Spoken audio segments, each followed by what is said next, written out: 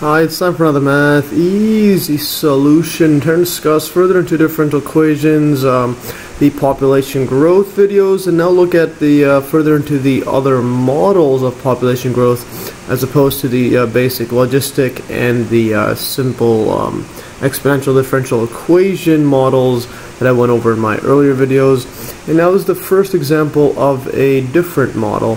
And this one is just a modification of the logistic equation and uh, we'll look at an example on it but uh, we'll go over part one of this example and I'll go over example uh, mean part two of it next in in the next video.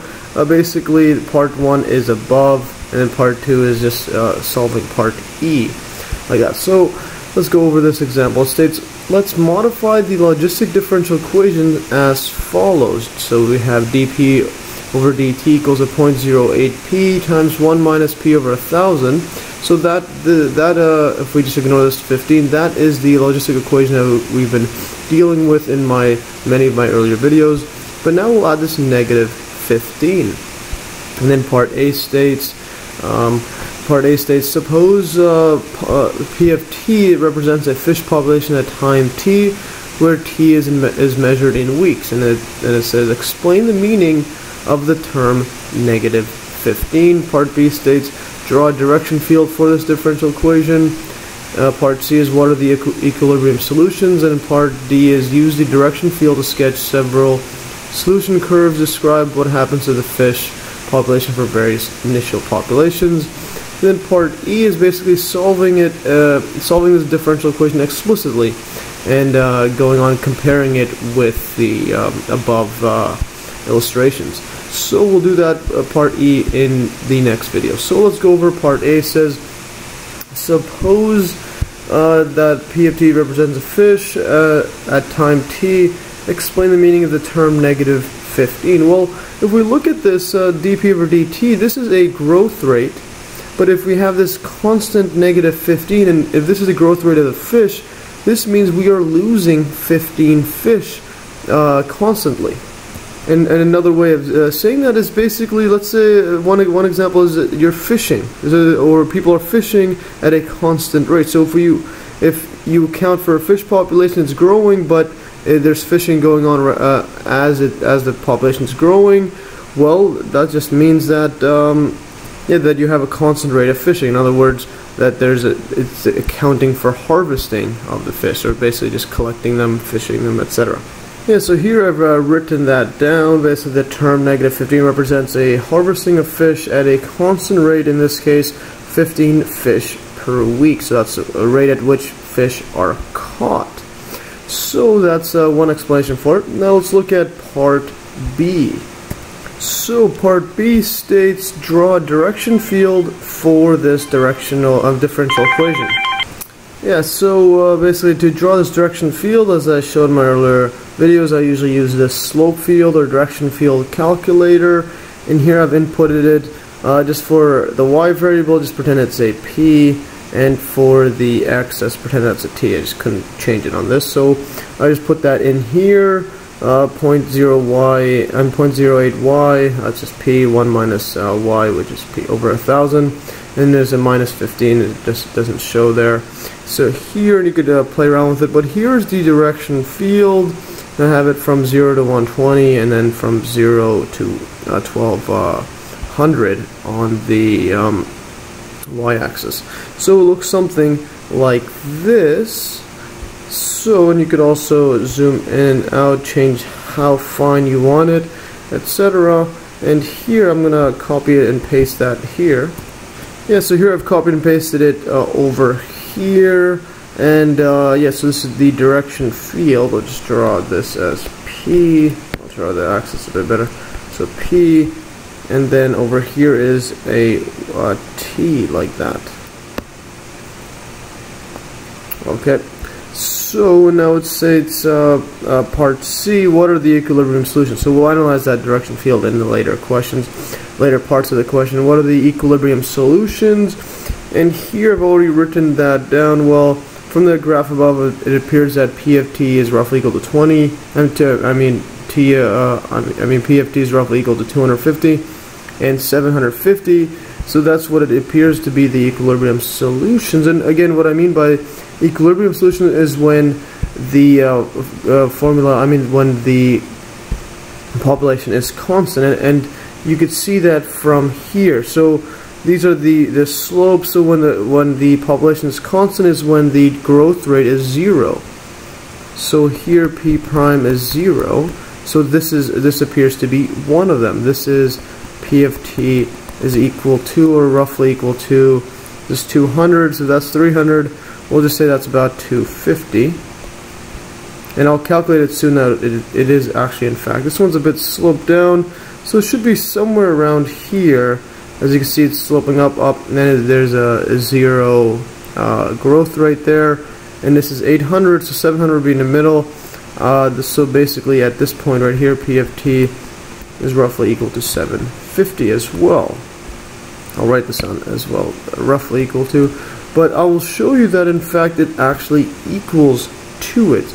And that's the only place that where the growth rate is zero. Everything else you have a slope that's changing and then there's a flat line across it.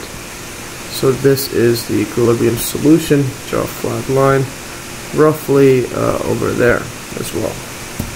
Now in fact we could actually uh, prove that this is, and again that's when the growth rate is zero, so what we'll do is we'll set dp over dt equals to zero, which equals to, well just uh, add our uh, equation there, and then, then solve for the p-values. So when the growth rate is equal to 0 is when 0.08 p1 minus p over 1000 minus 15 like that. Yeah, now the idea is to simplify this and solve for p. So to do that, first what I'm going to do is multiply this p inside here, and I'm also going to multiply this by uh, 0.08 and divide it by 0.08 so that we could factor it out, so we could factor out the 0.08 out of it, and then we'll, what we'll end up is with a quadratic formula. So what we get is 0 is equal to, and then we'll factor out this 0.08 out. So do that all at once, so factor out the 0.08, multiply this p inside, we get a p minus a p squared over a thousand, and then there is a minus uh, 15, this one is factored out over 0.08. So we didn't change anything there. We just did this just so we can get the 0.08 out of there. And what I'm also going to do is factor out a negative sign so we have a positive p squared. So we'll put a negative, negative, uh, negative like that. So we're just taking a negative out. Yes, we're not changing anything. We just took a negative sign uh, out of there. So we just factored out a negative out of it. So we have this so what we end up having is yeah, 0 equals to negative 0.08. And actually before I write that down, I'm going to, let's just solve this 15 over 0.08. Let's just simplify that. So 15, yeah, so 15 over 0.08, this just equals to, you can put in a calculator, just want to do it by hand, so 15 over 8 over 100. The 100 goes on top, so we get 1500 over uh, 8 this is just dividing by it so we could uh, put this in long division. And you can see my earlier videos on long division 0 0 so 8 goes into 15 once. And then what this happens now is whoops show that here so this goes into it 1 so it's 8 1 times 1 is 8 so 15 minus 8 is well 7 because uh, 16 would have been 8 so we have this, bring the 7 and the 0 down. Now 70, well, 8 goes into it uh, 8 times, because 8 times 8 is 64. Subtract, we get a 6 and a 0. So 64 is a 8, so this obviously is a 7. So that's uh, 187, and then this is 60, this is 56, so 64 minus 8 is 56 minus that, that's just a 4. Now we have to put a decimal place and put a 0 down. 8 goes into 40, well 5 times, and that's just a clean 40. So that's it. So 187.5, but also I want to get rid of this 1000, so what I'll do is times by 1000 on everything and divide by a 1000 and move this 1000 inside and rearrange it all So what we end up getting is a 0 equals 2. Let's put this uh, under a 1,000, but move it over on this side. So negative 0.08 over a 1,000. We can cancel this out because it's 0, but I'll just keep it there for completeness sake. And now this p squared, the 1,000 cancels. So we have a p squared, move it on the left side. Negative p, so that will be negative 1000p. And then this uh, 15 over 0.08, that's 187.5 times by 1,000. So this is going to be, uh, this is plus 187.5, and then this is moving the decimal place three times. So 1, 2, and 3, so that's two zeros. 1, 2, 3. So we have 187,000. And now this is, uh, yeah, quadratic formula, and this one, again, we can cancel this all out, divide both sides, and this 0 divided by this, that's just 0. So what we'll end up doing is, well, first of all, recall the quadratic formula, and I'll write this down, quadratic formula, because we have, we have to solve for p, and this one's not too straightforward, quadratic formula, and also you could factor it as well out, it's just not as simple. So remember it's 0 equals to ax squared plus uh, bx plus c, where a in this case is 1, and then b is negative 1,000, and then c is um, 187,500. So then this formula is x equals 2, x equals 2, negative b plus or minus square root b squared minus 4ac over 2a. Yeah, now in our case, this just means, well, p is equal to, uh, instead of x, we have p. p is negative b, which was a uh, negative 1,000. 1,000 plus or minus, now we have square root negative 1,000 squared minus 4a was 1. A is 1, and then c is now 187 five zero zero like that. And then all divided by 2 times 1 which was uh, 1 in front of here. That's just 1 that's a. And here I've plugged that into the calculator so negative uh, a negative of a negative 1000 plus square root negative 1000 squared minus 4 times 1 times 187,500 divided by 2 times 1 that's uh, when we add a plus there we get 750 and this is the exact same formula, but we had a negative there, which is 250. So what this means is this equals 2, again, this equals to uh, 250, yeah, 250 and 750. Actually, I'll write this as, because uh, if it's a plus first, so it's equals to 750 or 250, which is exactly our equilibrium solutions. And note also that this uh, quadratic formula, this also means that, well, 0 equals 2, we have, uh, this cancels, so we have that p squared minus 1000p plus uh, 187,500. This is a, this just means now we could factor this out. This is p minus, uh, 750, uh, and then times it by p minus 250. And this is the same thing as using the quadratic formula, and you can even expand this out, multiply this out, out on both sides, just for completeness sake. What we end up getting is, well, p times p is p squared, minus, um, this one is p, I mean, seven, negative 750 times p, that's 750p. When we just expand this out, then we have negative 50 times it by p, that is, um, 250p, and then negative 50, negative 750 times negative 7, uh, I mean negative 250, that's positive 750 times 250. And this one, that just adds up to a, a thousand. P squared minus a thousand, p, and then plus this part right here, let's put that here, 750 times 250 put a 0, 5 goes into it, uh, 5 times 0 is 0, 5 times 5 is 25, add a 2, 5, add a 2, and then 5 times 7 is 35, 37. Same thing here, add a 0 now.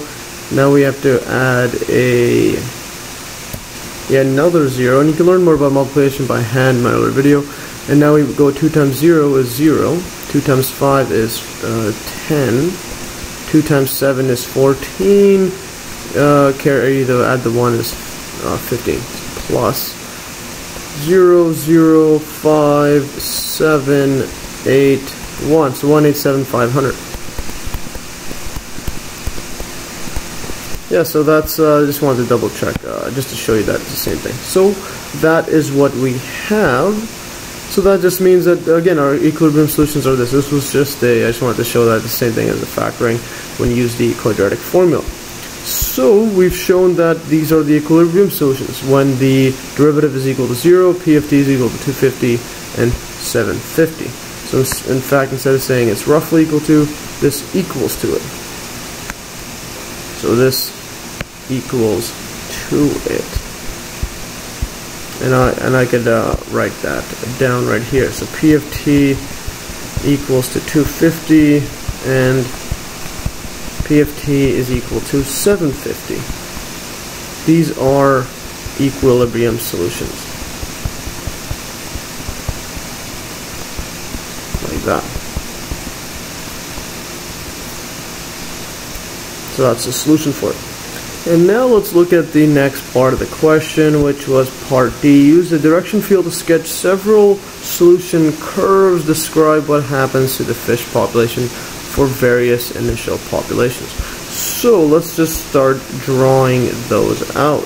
So uh, basically there's three zones we need to look at. The uh, above the 750, between 750 and 250, and then also at this um, uh, below 250 as well as on the equilibrium solution. So on the equilibrium the solutions are just flat line or, or other words constant.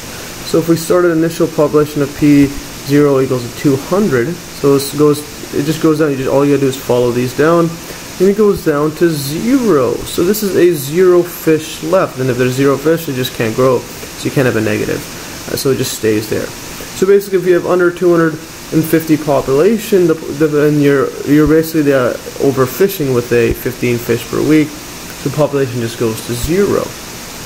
And next one, if we look at, let's say, let's say above the 250 at about 300, let's say, let's just assume this is about 300, so P0 is equal to 300. As you see, the slope lines are going up, so we are going above it and as you can see it's, it's approaching the 750 same if we started with uh, 300 p0 equals to 400 here. Uh, same idea it's just going following it across.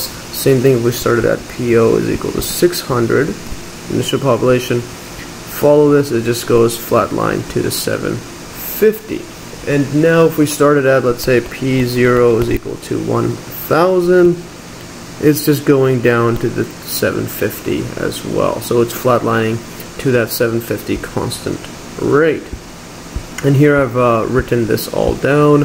So for zero between, I mean, population, initial population is between zero and 250. The population decreases to zero. Uh, in other words, it's overfishing. Overfishing like that. You're just fishing too, uh, too high of a rate. And for P0 is equal to 50, population remains constant. For uh, between 250 and 750, population increases and approaches 750. And similarly at 750, that's just an equilibrium solution, and the population remains constant. For greater than 750, population decreases and approaches 750. Yeah, so it just decreases like that. So uh, yeah, that's all for today. And uh, and as I stated earlier, I'll go over part E in the next video because that's just a bit more in depth. I gotta calculate explicitly and solve that equation explicitly. So uh, and then compare it with it. So so stay tuned for that one. It's pretty interesting and going through the mathematics on it. Anyways, hopefully you learned and like always, you can download these exact notes in the link below. Thanks for watching and stay tuned for another math easy solution.